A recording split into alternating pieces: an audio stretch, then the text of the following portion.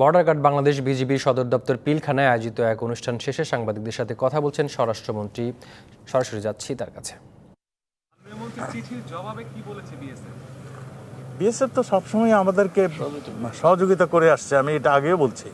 চিঠির জবাব বিজেপির আরে এটা এটা কোনো চিঠি না। এটা আমরা যে সম্মেলন করেছি এই সম্মেলনে এটা উঠেছে। এবং তাদেরকে আমরা এটা অনুরোধ করেছি যেখানে যেখানে এরকম ক্যাম্প আছে।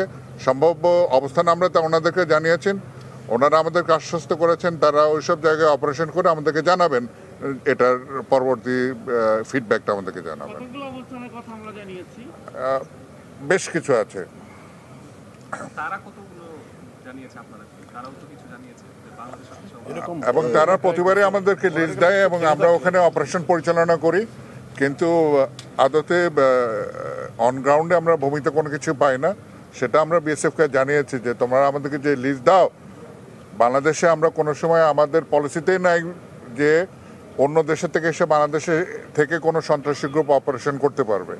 তো সেই বিষয়টা আমরা তাদেরকে আবার আশ্বস্ত করেছে এবং বলেছে যে, আগে তোমরা যে লিস্টগুলো দিয়েছ, সেখানে আমরা অভিযান পরিচালনা করেছি এবং পরিচালনা করে সেখানে আমরা এরকম কোনো ক্যাম্পের অস্তিত্ব আমরা পাই নাই। থ্যাংক ইউ আমার মনে হয় হয়েছে। ক্ষেত্রেও কিন্তু সেম উত্তরটাই হয় যে তাদের কাছেও কিছু পাওয়া যায় না। তাহলে কি দুই বাহিনী ইনফরমেশনের সমস্যা নাকি আসলে সমস্যা? তারাও তাদের জবাবে এরকম কথাই বলে যে তারাও তাদের কাছে কিছু পায় না আপনারাও কিছু পান না। আসলে কি সন্ত্রাসী গ্রুপ নাই নাকি আসলে তথ্য সমস্যা? আমরা কিন্তু বলেছি সন্ত্রাসী গ্রুপ আছে মানা করিনি। আমাদের এখান থেকে ধাওয়া দিলেই তারা এই দুর্গম এলাকা দিয়ে ই হয়ে যায়। সেইটি যাতে না হয় সেই জন্য আমরা বিওপির সংখ্যা বাড়াচ্ছি।